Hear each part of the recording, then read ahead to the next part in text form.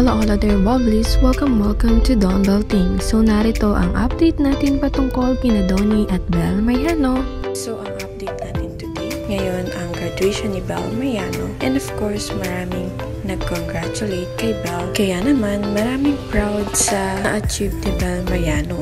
Ayon pa sa post ni Bel Mayano, pinili niya na Bago pumasok sa industriya ng showbiz, ipinangako niya sa sarili at sa kanyang magulang na magtatapos ito. Kaya naman ngayon ay nakapagtapos si Bel Mayano at maraming nag-congrats sa kanya. So yun lamang ang chika natin patungkol kina Donnie Pangilinan at Bel Mayano. Thank you, thank you for watching this video and don't forget to subscribe for more, more, more Don updates. See you on my next one. Bye-bye.